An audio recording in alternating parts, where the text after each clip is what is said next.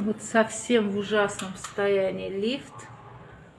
Вот уже пора давно менять.